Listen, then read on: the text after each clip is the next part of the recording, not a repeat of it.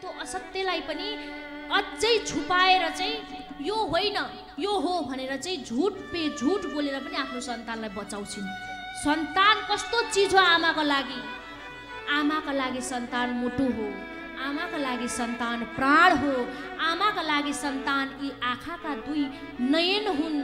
जति हामीहरूले आँखामा बसेका छन् सन्तान आमाको। जति रुवाउँछौ नि आँखाबाट बलिन्द्र धारा आँसु चुन्छ। र त्यो आँसुले सिधै हामीलाई गएर पोल्दछ सन्तानलाई गएर पोल्दछ।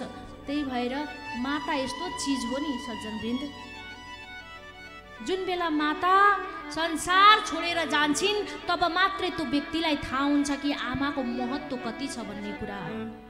हिजोसम्म सहारा दिने बेला आमा त्यो छोरी विवाह गरेर गइन्। त्यो छोरीको सहारा बनेर सेकेन्ड सेकेन्डमा फोन गर्छिन् आमाले बाबु कस्तो छ तिमीलाई? के खायौ? के गर्यौ? कति पोल्छ ती आमालाई? त्यो सन्तान त्यो छोरो काम गरेर आओस्। आफ्नी पत्नीले भन्दा पहिले आमाले सोध्छिन् बाबु तेरो ओठमुख सुक्यो होला। पहिले तातो तातो केही खाइहाल। भोक लाग्यो होला। पत्नीलाई पनि त्यति याद आउँदैन। तर आमा आमा हेर्नुहोस् त कति पिर पर्छ। मेरो छोराछोरी आउने बेला भयो भनेर अगाडि नै भोजन खाजा भुजा तयार गरिदिनुहुन्छ आमाले। मेरा छोराछोरी गले होलान् भनेर हात पाउमा तेल लगाइदिनुहुन्छ आमाले। मेरो छोराछोरीलाई चोट पर्यो होला कसैले केही पो भनिदियो होलान् भनेर यो मुटु धड्किरहन्छ आमाको। धड्किरहन्छ। जबसम्म देख्नुहुन्न वृद्ध भएपछि के हुन्छ? ती आमा। माथि छतको माथि बस्छिन् घरको माथि बस्छिन् र छतबाट बरन्डाबाट बाल्कुनीबाट आफ्नो छोरो कहिले आउँछ भनेर हेरिरहन्छन् रुँगेर बसिरहन्छन् आमा। एक टकले आँखा त्यहीँ पुग्छ। एक समय नि सज्जनवृन्द एक वृद्ध आश्रममा पुगेको थिएँ। त्यति बेला चाहिँ म आफै पनि सहन नसकेर त्यहीँ रुन लागेछु। मलाई नि थाहा भएन के भइरहेको छ। त्यो वृद्ध आश्रममा बुढाबुढी आमाहरू सबै बसिराख्नु भएको थियो। सबैजना खुसी हुनुहुन्थ्यो हाँसिराख्नु भयो। तर एकजना बुवा आमा हुनुहुन्थ्यो जोडी जुगल जोडी। एउटा कोठामा। त्यो आमा सकि नसकी उभिएर ढाड दुख्दो रहेछ। हात चाहिँ कम्मरमा लगाएर झ्यालको त्यो खिड्कीको फलामलाई पक्रेर हेरिराख्नु भएको थियो एक टकले रोडतिर। त्यो आमालाई मैले सोधेँ आमा उता चाहिँ किन हेर्नुभएको हजुरले? भने सुन्नु भएन एकरो भइसक्नु भएको थियो। फेरि मैले प्रश्न गरेँ आमा बुबा झोक्र्याएर बसिराख्नु भएको थियो। फेरि मैले प्रश्न गरेँ आमा उता के हेर्नु भएको बाबु यतै मेरो नाति नातिना खुर्र खुर्र खुर्र कुद्छन् यो बाटो। मेरो नानी बाबुलाई हेर्न म यहाँ आँखा टट्याउन्जेल हेरिरहेको छु। आज त आँखा पनि छैनन्। अरू बेला त यहाँबाट देख्दा पनि मलाई सन्तोक लाग्थ्यो। आज त देख्न पनि पाएको छुइनँ। कतै बिरामी पो भए कि? केही थाहा पनि छैन। मलाई त साह्रै छाती चस्किराखेको छ। कतै बिरामी पो भए कि मेरा नानी बाबुहरू? कतै पिर पो पर्यो कहाँ गयो होला? मेरो छोरालाई के भयो होला? मेरो बुहारीलाई के भयो होला?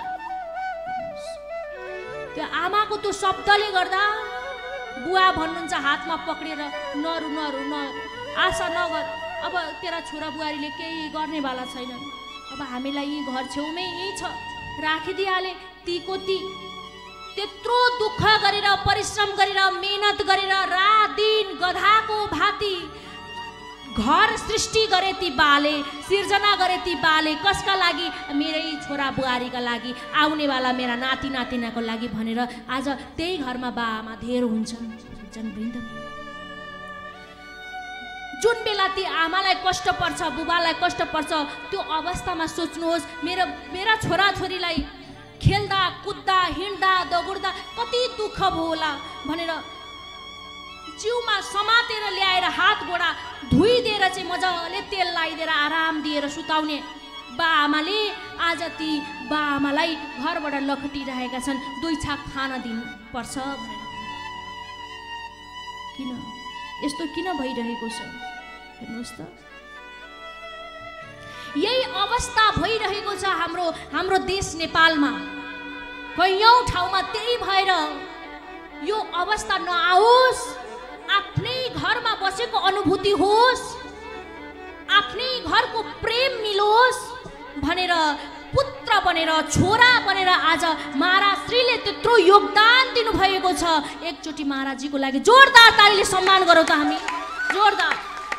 यतिको लागि यत्रो भवन निर्माण गरि गराइराख्नु भएको छ ताकि यहाँहरूलाई कुनै दुःख आपत्ति नपरोस्। अनुभव नहोस् कि मैले मेरो सन्तान गुमाएछु भनेर। किन? कुनै ठाउँ कुनै वृद्ध आश्रममा यहाँहरू जानुहोस्। त्यहाँ कुनै ज्ञान पनि हुँदैन त्यहाँ कुनै भक्तिमय सङ्गीत कुनै केही हुँदैन तर यहाँ त सज्जनवृन्द बार बार ज्ञान बार बार कथा बार बार भगवान्को चर्चा यस्तो धाम यस्तो स्थान छ। योभन्दा ठुलो अवसर योभन्दा ठुलो भाग्य केही पनि होइन। आज भगवान्ले एउटा न एउटा निमित्त बनाएर एक व्यक्तिलाई महापुरुषलाई पठाइदिनु भएको छ। भने हजुर चिन्ता नगर्नुहोस्। हेर्नुहोस् घरमा परिवारमा प्रतिकूल यदि विपरीत विरोधी कोही छैन भने हामीलाई भगवान्मा मन लाग्दैन। विरोधी हुनुपर्छ। एउटामा एउटा प्रतिकूल व्यक्ति हुनुपर्छ। तब मात्रै हामी भगवान्को सहारामा गिडगिडाएर जान्छौँ। अनुकूलै अनुकूल भयो भने त हामी पूर्णत संसारमा खुसी मात्रै देख्दछौँ त्यही खुसीमा हामी मोहित भएर फस्दछौँ। हाम्रो जीवन बर्बाद पारिरहेका हुन्छौँ। हामी भगवान्लाई स्मरण गर्न समय नै हामीलाई मिल्दैन। त्यही भएर प्रतिकूल जति हुन्छ त्यति प्रसन्न हुनुहोस्। आज मेरो समय उल्टा चलेको होइन। यो मलाई भगवत कृपा भएको हो। यो मलाई प्रभुको कृपा भएको अनुग्रह भएको ताकि यो संसारीको दुःख परिरहेको छ। यो दुःख त झुट्टा हो वास्तविक सुख त मलाई त्यहाँ छ जहाँ प्रभुको स्मरण जागिरहेको छ। बोला आनन्द कन्द भगवानको प्रेमले भनौँ राधे राधे। जय हो। भने यस्तो माता पिताको आशीर्वाद लिनुहोस्। आँसु होइन।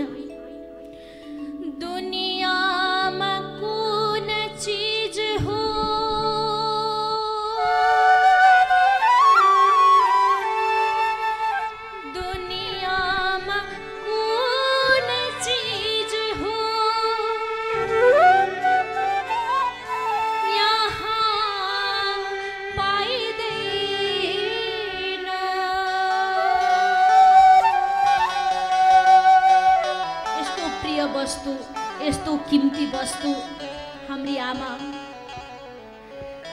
जुन दिन त्यो घरमा ती आमा हुँदिनन् त्यो घर कति कति चाहिँ अन्धकार हुन्छ। त्यति बेला थाहा हुन्छ बाबु बाबु भनेको गुन्जिन्छ क्या त्यो घरले पनि बोलाइरहेको हुन्छ त्यही आमाको शब्द बाबु बाबु भनेर। छोरा मेरो छोरी भनेर गुन्जिरहेको हुन्छ। अर्काको घरमा बिहेदान गरेर पठाउँछु त्यति बेला थाहा हुन्छ आमासँग घुर्की लगाएको आमालाई पीडामा पारेको आमालाई एक शब्द आमाले बोल्नुभयो भने झर्केर जवाब दिएको त्यति बेला थाहा हुन्छ अर्काको घरमा गएपछि कस्तो हुन्छ भन्ने कुरा। आफै खाना बनाउनु पर्यो आफै खुवाउनु पर्यो उनीहरूसँग निहुरिनु पर्यो खुसी बनाउनु पर्यो त्यो परिवारलाई। आज आमाले सम्पूर्ण कुरा त्यही ल्याएर टक्र्याउनुहुन्थ्यो। बाबु खाइदेऊ न बाबा खाइदेऊ न। ल्याऊ तिमीलाई के मिठो लाग्छ त्यही बनाउँछु। भन्दै कहाँबाट हुन्छ खोजेर जुटाएर आमा आमाले त्यति भावले सम्मानले भगवान् देवी स्वरूप भगवान् कृष्णकै स्वरूप आफ्नो छोराछोरीलाई भगवान् बनाएर शिरमा राख्नेवाली आमा ती आमाको महत्त्व त्यति बेला थाहा हुन्छ। जुन बेला घरदेखि टाढा रहन्छौँ हामी जुन बेला आमादेखि हामी टाढा हुन्छौँ। छुट्टिएर हामी सधैँको लागि टाढा हुन्छौँ। त्यति बेला त्यो आमाको आमाले कस्तो गरी चाहिँ सन्तानलाई हुर्काएकी हुन्छन् त्यो केवल आमालाई मात्रै थाहा हुन्छ। आमाको ममता कस्तो हो भन्ने कुरा केवल आमालाई मात्रै। जुन समय हामीले त्यो महत्त्व बुझ्दैनौँ नि पछि पस्ताउनुदेखि बाहेक अरू केही पनि हाम्रो जीवनमा हुँदैन। सोही अनुसार गधाको स्वभाव हाम्रो माता पितामा हुनुहुन्छ जो पारिश्रमिक हुन्छ कठिन कार्य गरेर पनि सकि नसकी हामीलाई जस्तै दुःखमा पनि डक्टर इन्जिनियर पढाइरहेको हुन्छ। जब त्यो माथि श्रेणीमा पुग्छ उसको पदको कारणले गर्दा त झुम्री भएकी आमा देख्छ म चिन्दिनँ भन्छ। माता पिता देख्छ आज त्यही त्यही अवस्थाले ढिक्की जातो गरेर कैयौँ दुःख गरेर त्यो पदमा पुर्याउनेवाला तिनै माता पिता ती तिनै बाआमा आज त्यो अवस्थामा पुगिसकेपछि उनीहरूलाई घिन लाग्छ। उनीहरूलाई सिक्सीको लाग्छ।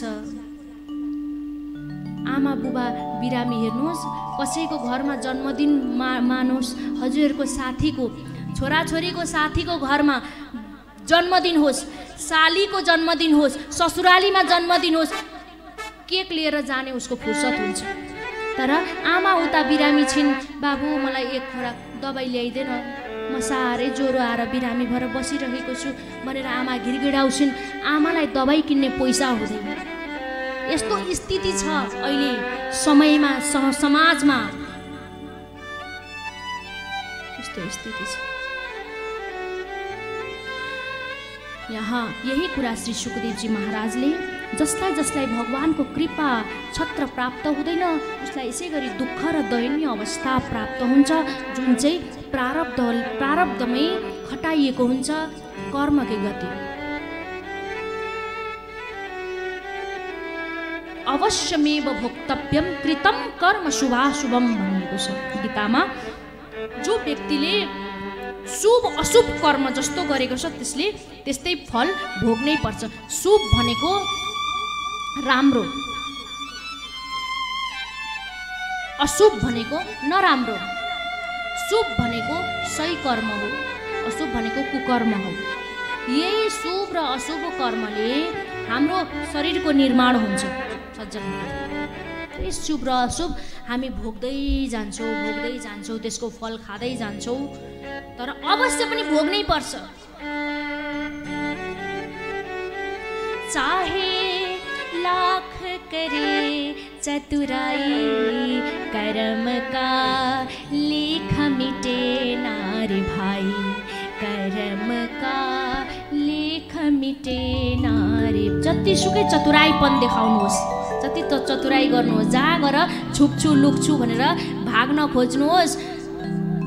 हजुरहरू कहीँबाट पनि बाँच्न सक्नुहुन्न। कर्मको फल त भोग्नै पर्छ। जे हुन्छ मेरो कर्मको प्रारब्धको यस्तै हो भन्ने जानेर चाहिँ आउनेवाला दिनमा सत्कर्म गरौँ र फलको आशा कहिल्यै पनि नराखौँ। कहिल्यै पनि नराखौँ। गर्दै जाउँ सत्यको जित हुन्छ भगवान् सत्यलाई नै साथ दिन आउनुहुन्छ। र जति दुःख परे पनि यो भगवान्को प्रसाद हो। बार बार दुःखमा मलाई चेतावनी दिइराख्नु भएको छ। जसरी आफ्ना छोराछोरीले गल्ती गर्दा आमा बुबाले पिट्नुहुन्छ नि झापड दिनुहुन्छ नि त्यस्तै झापड लगाएर चाहिँ भगवान्ले सचक बनाइराख्नु भएको छ। ताकि तैँले यो कार्य गल्ती गर्दैछस् है अब आउनेवाला दिनमा गल्ती नगर्नु है भनेर त्यो दुःख दिएर चाहिँ भगवान्ले चेत दिइराख्नु भएको छ। तर त्यसमा हामी बुझ्नै सक्दैनौँ। प्रभुले किन दुःख दिनुभएको? हामी उल्टै भगवान्लाई दोष लाउँछौँ। यो सम्झौ दुःख आइरहेको छ। म भगवान्को निकटमा आइरहेको छु। बोलो भक्तवत्सल भगवानको यस्तै गरी दुःख परिस्थितिमा श्री विदुरजी महाराज पनि कहिल्यै डराउनु भएन। मैले यहाँहरूलाई हिजो बताएको थिएँ नि म विदुरजीको प्रसङ्ग चाहिँ पक्कै भन्छु है भनेर। विदुरजी महाराज जस्तै दुःख परिस्थितिमा पनि डराउनु भएन। आफ्नो पदभारलाई पनि त्यागिदिनु भएको थियो। धृतराष्ट्रलाई सम्झाउँदा सम्झाउँदा सम्झाउँदा गर्नुभयो धृतराष्ट्रको आँखा पनि अन्धो मनै अन्धो भएको थियो। र अन्तिममा गएर सबै उसका छोराछोरीहरू को मृत्युको अवस्थामा पायो तब भगवान् कृष्णलाई सोधेका थिए क्या धृतराष्ट्रले मेरो यो गति किन भएको होला? सय पुत्रमा सय पुत्र मरेर गए कुनै पनि बाँचेनन् यो कुन अवस्थाको मलाई मलाई दण्ड मिलेको? हे कृष्ण भन्दा भगवान्ले भन्नुभयो पूर्व समयमा पूर्व समय भने अघिल्लो समय पनि होइन सयौँ वर्ष अगाडि। सयौँ वर्ष अगाडिको समयमा चाहिँ धृतराष्ट्र महाराजाको पदमा थिए। अब महाराजालाई अरू कुनै चिजको पनि आसक्ति थिएन एउटै चिजको आसक्ति थियो जिब्रोको स्वाद। मिठो मिठो भोजन गर्नु खुब व्यञ्जन उसलाई चाहिने भोजनमा पनि एकदम स्वादिष्ट चाहिने धृतराष्ट्रको बानी थियो। पहिले महाराजा हुँदा सयौँ वर्ष अगाडि। र भगवान्ले यो कुरा भन्नुभयो हे धृतराष्ट्र तिम्रो बानी चाहिँ यो जिब्रोले गर्दा तिमीले ठुलो पाप गरेका छौ। त्यही भएर जिब्रोलाई तिमीले कहिल्यै बसमा पार्न सकेनौ। संसार प्रजाहरूलाई तिमीले प्रसन्न बनायौ धर्मको काम गर्यौ यज्ञ अनुष्ठान गर्यौ। अश्वमेध यज्ञ जस्ता कार्यहरू गर्यौ तिमीले भगवान्लाई स्वयं प्रसन्न बनायौ तर अन्तिममा तिम्रो एउटै मात्रै कमजोरी थियो स्वाद त्यही स्वादले तिमीलाई आज यो अवस्था भोग्नु परिरहेको छ। कस्तो के गरेर मैले त्यति बेला मलाई यो पनि भनिदेऊ? हे कृष्ण सुन्नुहोस् हजुरले त्यो समय हजुर भोजन बनाउन राखिएकी जुन दासी थिइन् नि अब महाराजलाई त मिठो भोजन चाहिन्छ। त्यति बेला भोजन बनाउने स्थानमा केही पनि भेटिनन् उनले। सब्जीहरू पनि केही थिएन। के बनाएर दिने अब? मिठो खानेलाई। अब आज त यी यो सानो यो हाँसको बच्चा हिँडिरहेको छ। ए हाँसको बच्चालाई म बनाएर दिन्छु। त्यो दिन दिन धृतराष्ट्रले मजाले खाए। महाराज कि जय हो महाराज कि जय हो भने त्यो दासी पनि प्रसन्न भइन्। धृतराष्ट्र पनि प्रसन्न भए। आफ्नो लगाएको गहना उतारेर चाहिँ त्यो दासीलाई तिमीले आज अत्यन्त आजसम्मको सबैभन्दा मिठो भोजन दिएको छौ। तिमीले आज मलाई म प्रसन्न भएँ भनेर हार उतारेर चाहिँ त्यो दासीलाई दिएका थिए। अब त्यो दासीलाई झन् प्रोत्साहन बढ्दै गयो। आहा महाराज चाहिँ यसै गरी बनाएर दिँदा खुसी हुँदो रहेछन् भन्ने भयो। भोलिपल्ट पनि त्यसै गरी गर्दै गर्दै गर्दै गर्दै लगेर ती हाँसका बच्चाहरू सयवटासम्म त्यसै गरी बनाएर दिन् अब आयो उनको समय आज हेर्नुहोस्। सय वर्ष पनि त्यहाँ त्यतिखेर गरेको कर्मले आज पछाडि उसलाई छोडेन। आजको दिनमा धृतराष्ट्रलाई सय पुत्र त्यसै गरी तडपी तडपी बध भएर मरे। मृत्युको अवस्थामा पुगे। एक पुत्र पनि बाँच्न सफल भएनन् किन? पूर्वकालमा गरेको कर्मले गर्दा। यही कुरा भगवान् कृष्णले बताउनु भयो र यता विदुरजी महाराजले पनि अनेक प्रकारले सम्झाउनुहुन्छ। सम्झाउँदा पनि धृतराष्ट्रलाई लागेन। विदुरजीले भन्नुभयो हे दाजु विदुरजीका दाजु थिए धृतराष्ट्र। हेर्नुहोस् हाम्रो शरीरको भागमा एक औँलामा क्यान्सर भयो भने त्यो औँला चट्ट पारेर काटेर फ्यालिदिँदै बेस्ट हुन्छ। हुन्छ कि हुँदैन भन्नुहोस् त नभए फैलिन्छ नि त शरीरभरि। त्यस्तै एक तिम्रो पुत्रको कारणले गर्दा सबैलाई नगरलाई संसारलाई हस्तिनापुरलाई नि यहाँ विचल्ली भइरहेका छन्। यी पाण्डवहरूको पाण्डव पुत्रहरूको कस्तो गति भइरहेको छ? एक तिम्रो दुर्जन पुत्रको कारणले। तर पनि मौन भएर बसिरहे त्यही समय अपमान गरेर दुर्योधनले विदुरजीलाई त्यहाँबाट